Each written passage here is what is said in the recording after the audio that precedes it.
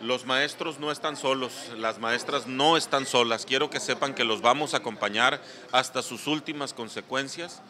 Eh, se aprobó ya un punto de acuerdo para que se respete el artículo 14, para que se respeten sus condiciones iniciales, sus derechos ya adquiridos y que no les quieran cambiar ahora la pichada aumentándoles los años de servicio o aumentándoles las cuotas. Y también se aprobó un punto de acuerdo para que hubiera una auditoría financiera a todo el ISTESIN.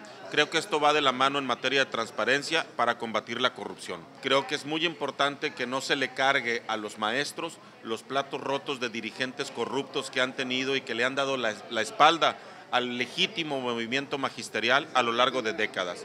No se vale que errores de políticos corruptos ahora lo quieran pagar los ciudadanos.